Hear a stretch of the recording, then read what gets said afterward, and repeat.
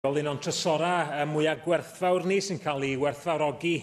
uwchlaw bob gwasanaeth cyhoeddus arall yng Nghymru, dwi'n siŵr ydy'r gwasanaeth iechyd, yr NHS, ac adnodd mwyaf gwerthfawr yr NHS ydy y gweithlu y bobl hynny sydd drwy y gyfuniad o'i sgiliau nhw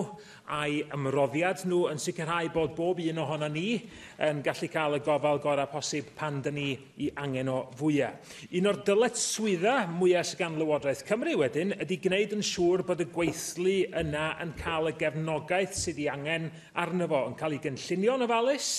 Fel bod ganddo ni y bobl iawn, yn y llefydd iawn, efo'r sgiliau iawn i ofalu am gleifion, a bod na ddigon o bobl yn cael yr anogaeth